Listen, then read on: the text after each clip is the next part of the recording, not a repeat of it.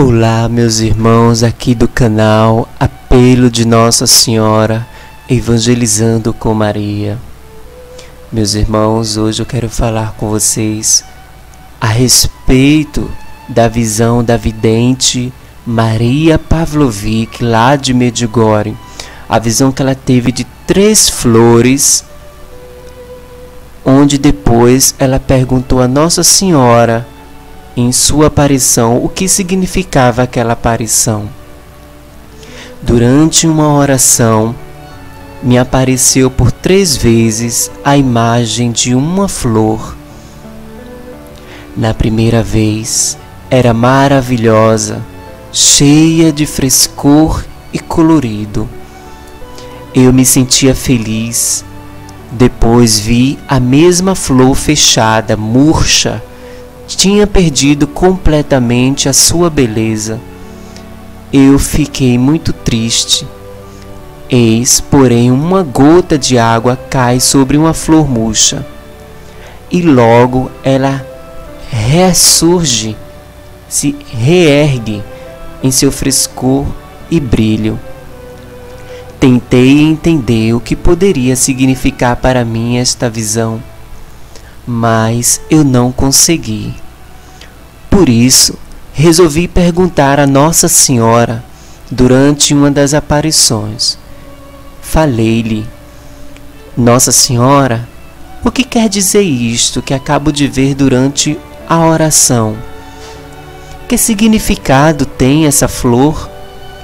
Nossa Senhora sorriu e respondeu: O coração de vocês é como essa flor. Todo coração é maravilhoso na beleza criada por Deus. Mas, quando sobrevém o pecado, a flor murcha e seu fulgor se esvai. Aquela gota caída sobre a flor para fazê-la reaviver é o símbolo da confissão.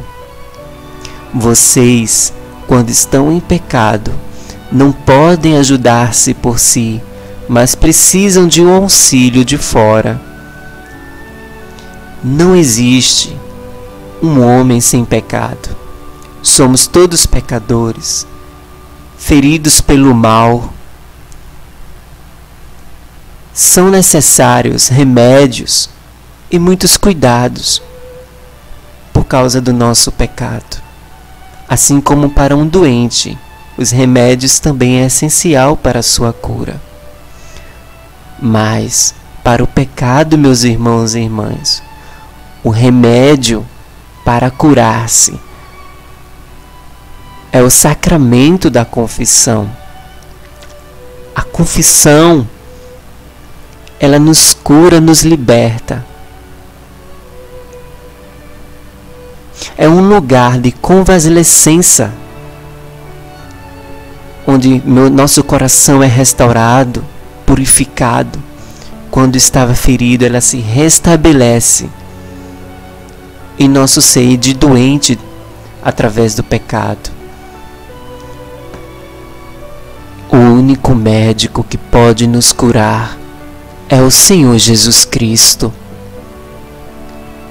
Através do sacerdote que se encontra à nossa disposição nas paróquias, na Igreja do Senhor, à disposição de nós, pecadores, oferecendo a íntima confiança.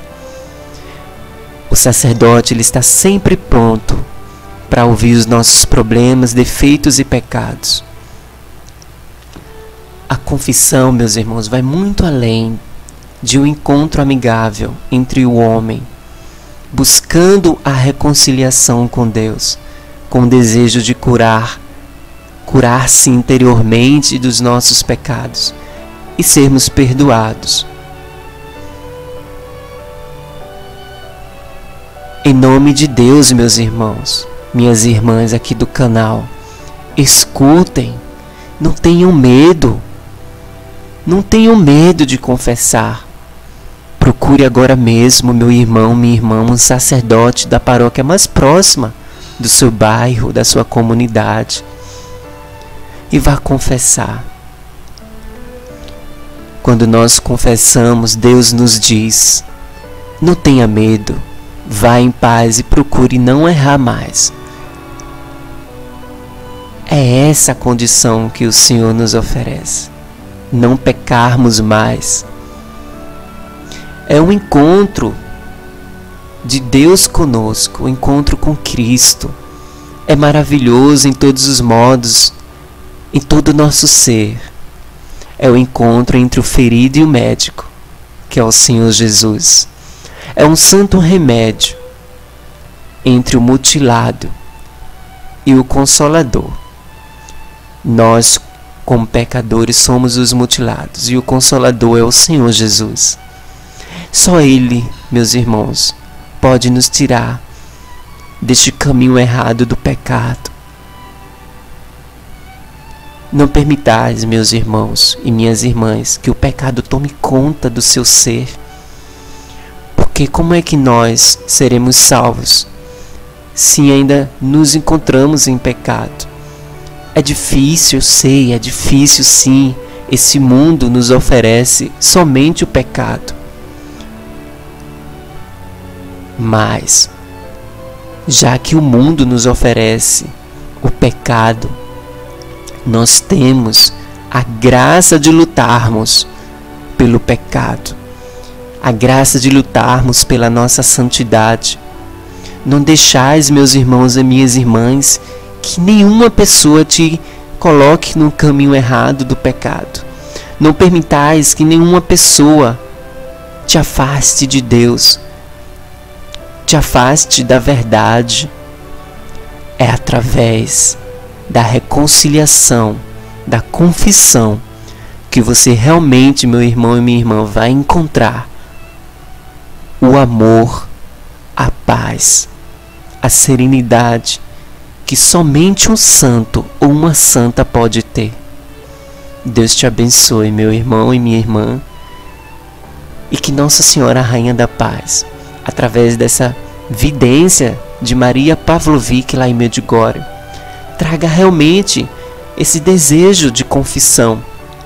Nós todos somos pecadores, sim, nós todos somos, mas nós precisamos nos reconciliar sempre com Jesus Cristo.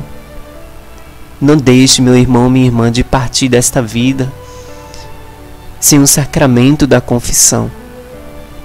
Obrigado por todos ouvirem e assistir este vídeo. Compartilhe, curta, comente, divulgue nosso canal do YouTube para que muitos cristãos católicos e até mesmo os não católicos, mas que creem em Jesus Cristo, Inscreva-se no nosso canal e receba gratuitamente todos os vídeos no seu celular. Ao inscrever-se, não se esqueça, toque no sininho ao lado para receber as nossas notificações. Deus te abençoe.